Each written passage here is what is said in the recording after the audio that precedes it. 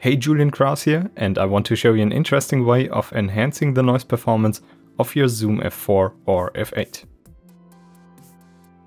To understand how this works, I shortly have to cover some basics first. When you have two audio signals, they can be correlated or uncorrelated, well, or anything really in between. The amount of correlation essentially describes the similarity of two signals. Imagine two signals laying on top of each other. The closer they match, the more correlation exists between these two signals. So when speaking of correlated signals, I'm talking about two signals that are essentially identical. And when I'm talking about uncorrelated signals, I mean two signals that do not have any similarities. A typical example for this would be two random noise sources. And here is the part that makes this whole trick work. When you add together two correlated signals with the same amplitude, they add up to a signal which is 6 decibels higher than each of the individual signals. But when you add together two uncorrelated signals with the same amplitude, they will only produce a combined signal which is 3 decibels higher than the individual signals. This principle can be exploited to lower the noise floor of the Zoom F4 and F8. All you got to do is to activate the dual channel recording and then set your gain on both channels to an equal amount. This way your signal is going to be recorded twice through two separate preamps and A to D converters. Your signal going into the recorder will be identical for both recordings. So here we have our correlated signals.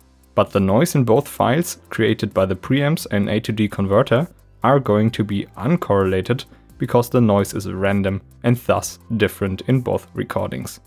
Now, when you add together both recordings in post, your recorded signal will get increased by 6 decibels, but the noise created by the recorder will only increase by 3 decibels. This way you essentially enhance the signal to noise performance of your Zoom F4 or F8 by 3 decibels. And to show you that this works in practice, I made a small test with the Zoom F4. First I recorded a sine wave with the dual channel recording enabled and the gain set on both channels to an equal amount. And after that I also recorded the noise created by the Zoom F4.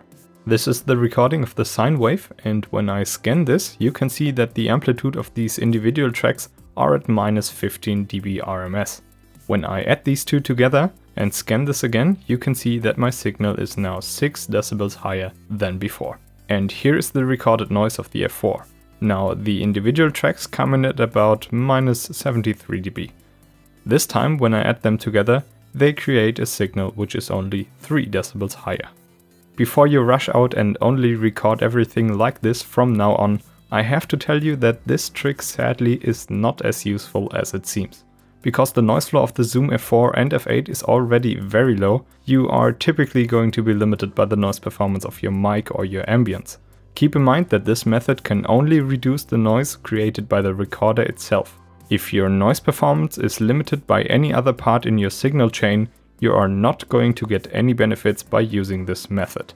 So in the end I have to confess that even though this method is completely valid to lower the noise floor of the Zoom F4 or F8 by 3 decibels, you will hardly find any scenario where this will make a significant difference. Nonetheless, I hope you found this interesting, and I see you in the next one.